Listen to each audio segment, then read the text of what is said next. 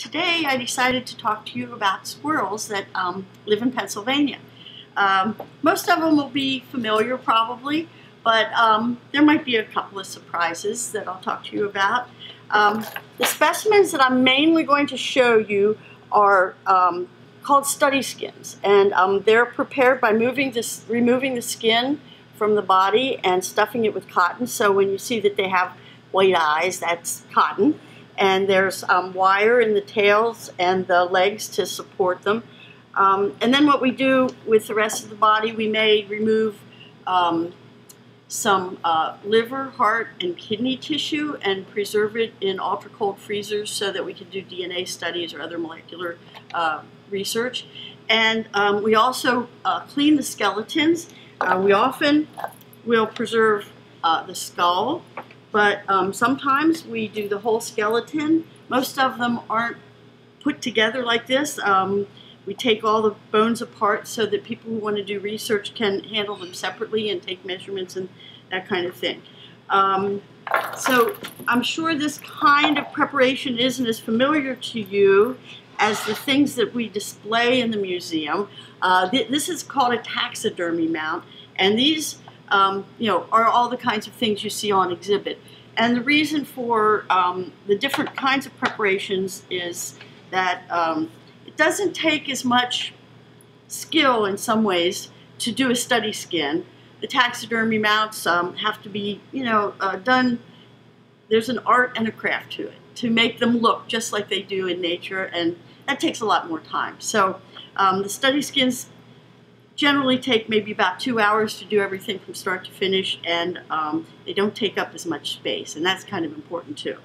So um, I'm just going to start by talking about um, all the different squirrels and telling you a little bit about them, and then if you have questions, I'll be ready for those. Um, so this is a, a gray squirrel. Uh, it's the most common squirrel, I guess, uh, uh, in Pennsylvania. Um, it's uh, found throughout the state. Um, this one is a pretty big individual. Um, it's a it's a male, but they don't differ in size between the males and females.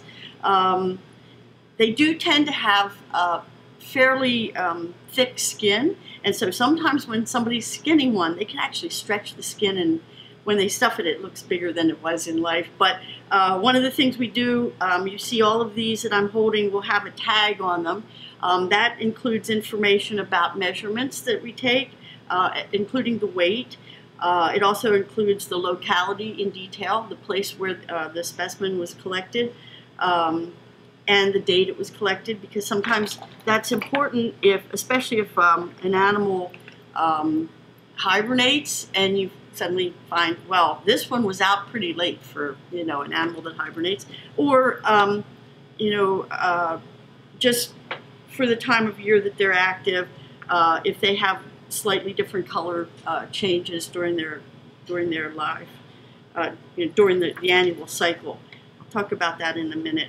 Um, so the gray squirrel uh, is mainly found in deciduous forests, which are really common in Pennsylvania. Um, they tend to uh, be able to tolerate park-like exist existence a little bit better than some of their relatives. They don't mind if they're in places where there are only a few trees. Um, I want to show you uh, another gray squirrel because this is one that is a, a, a black-faced or melanistic gray squirrel. Um, people who live in Pittsburgh and some other locations around the state uh, may see these more commonly um, than other places. Uh, they tend to, to crop up about one in every 1,800 to 2,000 births. But once they show up in the population, uh, it seems like um, they show up again. Uh, and so pretty soon, for instance, um, in the city of Pittsburgh, we, one of our parks, Schenley Park, um, is kind of known for black squirrels. People call us all the time and say, I just saw a really strange squirrel. Um, but other people who've lived around here for a long time know that you know the the color phase, the black color phase, is um, something that's kind of common in Schenley Park.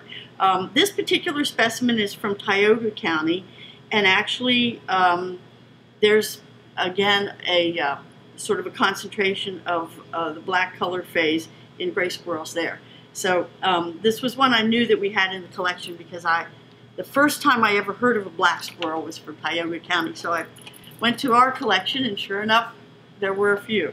Um, the, it's, it's, even though I use the terminology phase, it doesn't mean it's a part of an individual's life. It's um, the same kind of terminology that's sometimes used for um, other species that have more than one sort of uh, color that can show up, like um, brown and uh, brown and gray. I think screech owls maybe, or there are um, the timber rattler comes in. rattlesnake comes in two different phases. So it's just that particular color for that individual, even though we use the word phase. Um, another squirrel that's really probably more familiar to people in western Pennsylvania is the fox squirrel. It's generally a little bit bigger, although this guy is really big for a gray squirrel. It's generally a little bigger than the, the uh, gray squirrel. Um, and rather than having white tips on the tail and sort of white tips on a lot of the fur, um, it has more of a reddish or orangish uh, color. And the same goes for the, the, uh, the belly.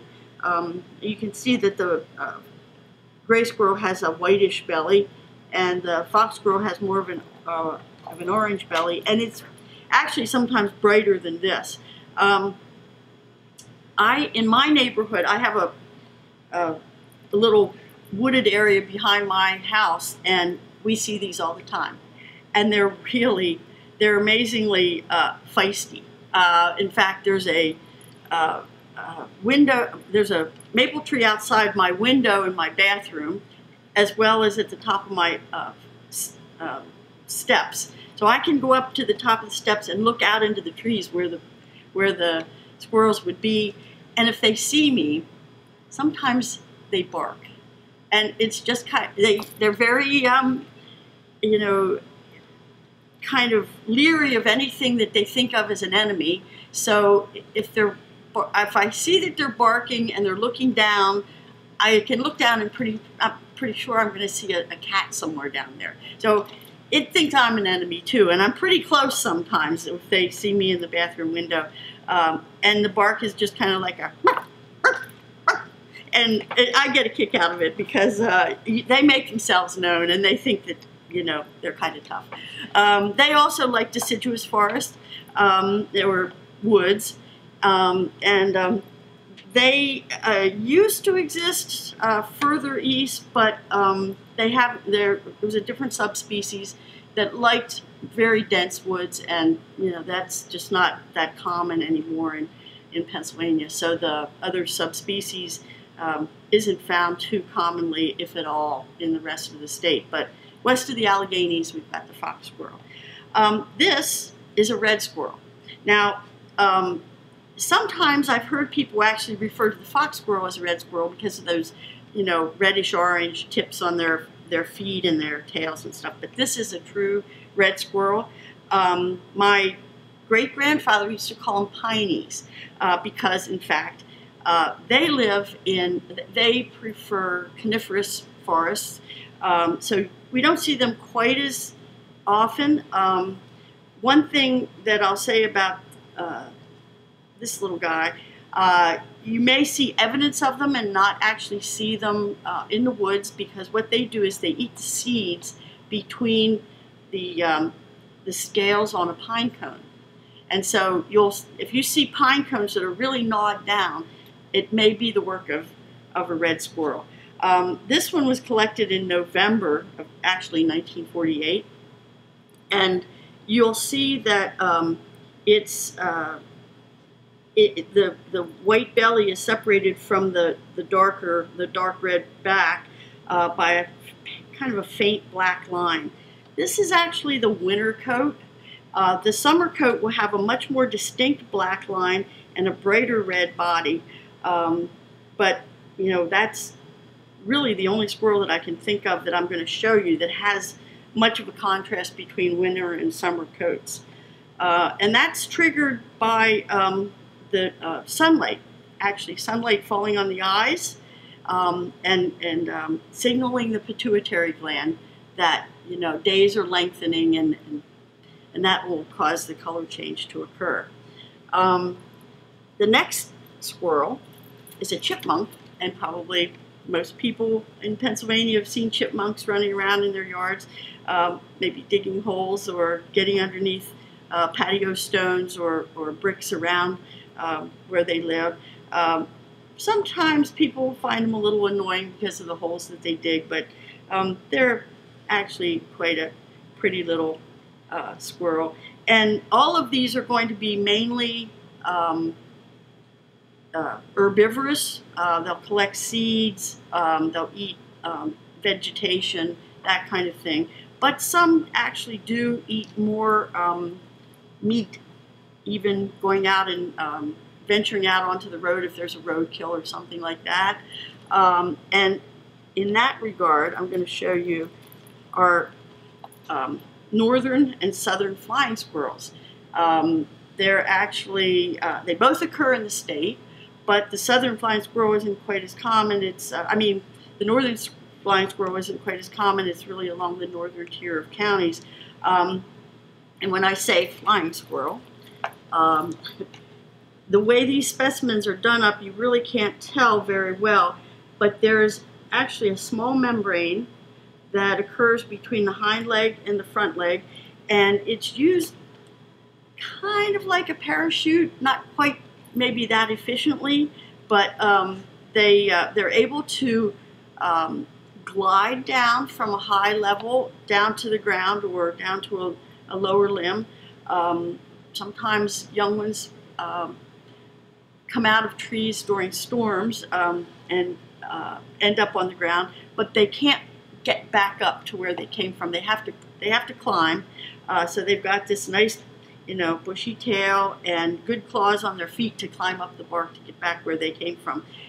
Both the flying squirrels are nocturnal, so we don't see them very often. Um, you may, uh, uh, if you have um, outside lighting that's triggered by motion, you might see them in your trees.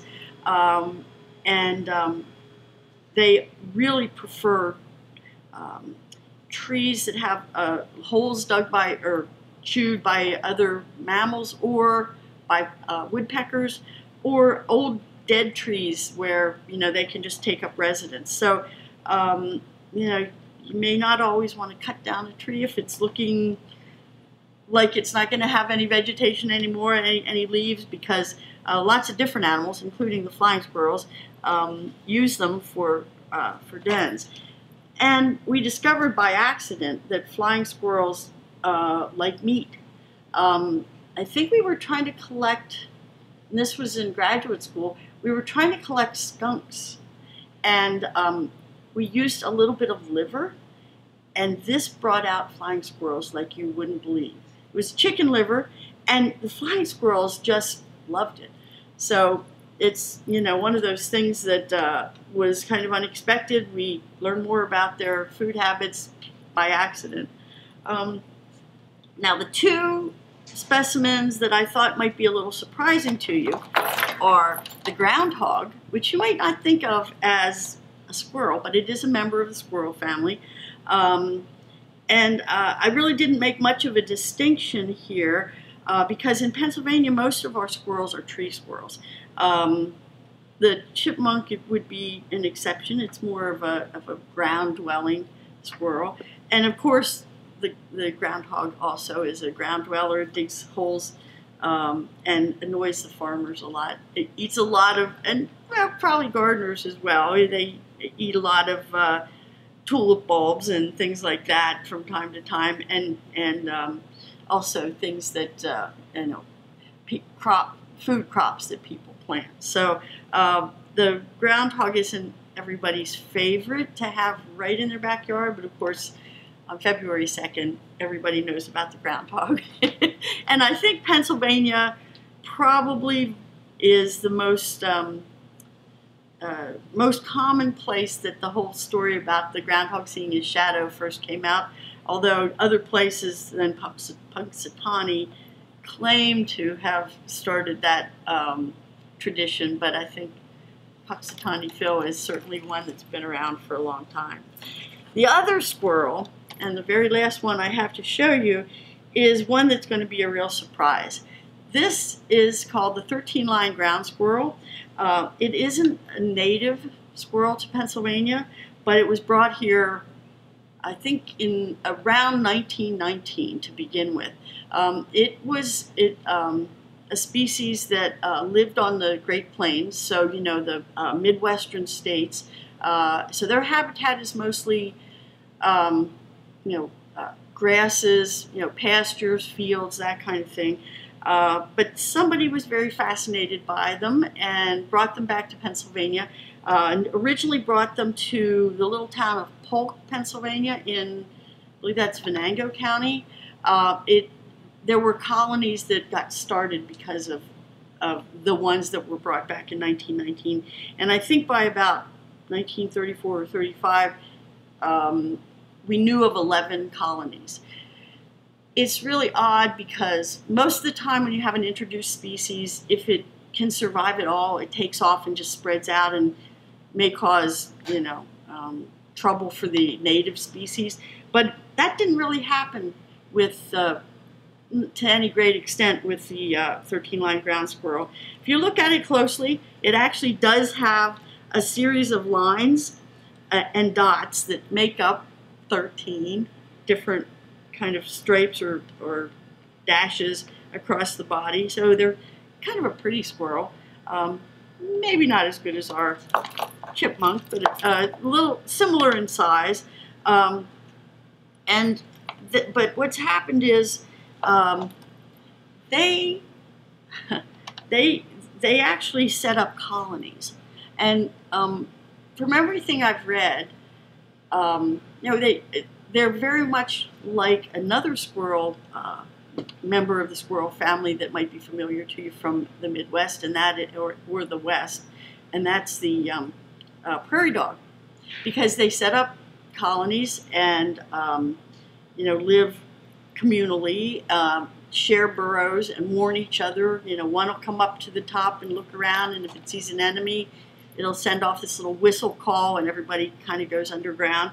Um, so uh, they, they have a lot in common in a way with their behavior, and uh, that may be why they were able to survive. And so the only known counties in Pennsylvania where they occur are Mercer and Venango. And um, they at one place where they seem to persist is, um, and this is one place where they were originally established, was on the grounds of the Polk State School, and so it's um you know sort of a park-like setting. Um, they weren't annoying to farmers or anything like that because you know it's just um, on the grounds of a, of a school uh, that's still around, and um, strangely enough, they're not as um, they don't reproduce as much as some other rodents. They may raise um, a litter of as many as nine, but they only raise one litter, litter in a summer. It takes a while for them to develop, and I guess the colony kind of keeps an eye on them and, and keeps them, um, you know, fairly safe because there are plenty of adults to kind of keep them from being picked off. But like other squirrels, um, some of their enemies are things like uh, hawks, um, black snakes or other snakes. Um, you know, some of the uh, things like coyotes, which are you know have become more and more common in Pennsylvania. So various carnivorous things, even uh, weasels, which we don't see much of, but they're out there running around and looking for food, um, could prey on them, uh, and other species of, of uh, squirrels. But um, for some reason, they've neither become a pest nor have they apparently completely died out in Pennsylvania. So uh, if you ever have an opportunity to be in the northwestern part of the state, uh, maybe you'll spot some of the 13-line ground squirrels running around. And um, I'll be glad to take questions if you have any. Okay. Oh, okay. The first question I have is, how rare are white squirrels? Um, well, they're much less common than the black phase. And the, um, if they're true albino squirrels, that's going to mean that they're, they have red eyes. Um, so they don't really uh, survive very well, and so it, it remains a fairly uncommon um, squirrel to observe. Um, ah, yes. So the red squirrel is actually, uh, the, the question is, are red squirrels a color phase like black squirrels? And uh, no, the answer to that is no. They're, they're distinctly different. Um, you might be able to see that they're a smaller animal. Um, I've actually seen one in, in my yard. Uh, I, I have uh, some hemlock trees and a white pine around, and also a, a, a blue spruce. Um, so there are pine cones for them to forage on, but um, they're not real common in my neighborhood. And um, and the color, the the uh, changes in color to this animal are seasonal rather than it being um, a special type of um, another kind of squirrel. There, it's a it's a distinct species. And um, let's see. Hmm. Are there any seeds squirrels avoid, avoid or won't eat? Well, that's a, I don't know the answer to that question. I think they probably would eat virtually anything. I know they eat even they eat things as as uh, different as peanuts or in, in the shell or you know or they're very much attracted to bird feeders that um, have peanuts as part of the mix. So, um, but uh, and I also know that they absolutely love walnuts and especially black walnuts, which is kind of an amazing thing because black walnuts have a very thick shell. Um, they're hard to crack for humans, but I guess you know if you have those nice big gnawing teeth, it's um, still a challenge, but it's something that they're kind of equipped for. So um, that's uh, uh, a kind of uh, two extremes of what I think of as we call them nuts, but they're you know they're actually in the same category as seeds. They eat um, you know sunflower seeds and all kinds of uh, smaller uh, seed type things, and they like uh, fruit, you know berries um, that they can harvest from plants and things like that as well. So um, that's um, those are both more or less seasonal type things, except for what people like to put out for them. So um, that's uh, uh, they they have to kind of mix up their diet because some things aren't available all year long. Um, do I have any other questions? Oh, I'm getting a lot of questions. Um, can groundhogs climb trees like squirrels? Um, I, I don't think they try to. Um, I wouldn't, for one thing, they're often more common to open ground, uh, so they don't necessarily um, encounter trees as much. Uh, but I think that they're uh, considered more uh, almost like the largest ground squirrel. So that they they probably they probably wouldn't even think to try to climb a tree. Um, do other squirrels eat meat? Yeah, actually, um, I was just um, sort of reviewing what I knew about the 13 line ground squirrel, and it, in fact, um, is considered relatively carnivorous. It's, it's omnivorous, but um, they will even eat something the size of um, of, of, of a, a, deer mouse or a, what they might be more likely to encounter a meadow vole. But they would uh, probably share it communally since they're, they're colony um, dwellers. Uh, so if they could actually, I think they're more likely to eat carrion or you know to scavenge meat rather than actually killing anything. Um, and this, uh, the same thing is true for um, the other squirrel, well, at least the gray squirrel and the fox squirrel. Um, I can't really say about the red squirrel. I'm, I'm not aware of them being uh, much in the way of meat eaters, but um, it depends on how you view this too, because um, insects would be um, not plant material, and a lot of them will um, encounter insects that they'll eat. So they they could be considered carnivorous, but not you know big things like birds or or uh, mammals that they would uh, actually have to try to kill. But they do they do eat insects. Why do squirrels have bushy tails?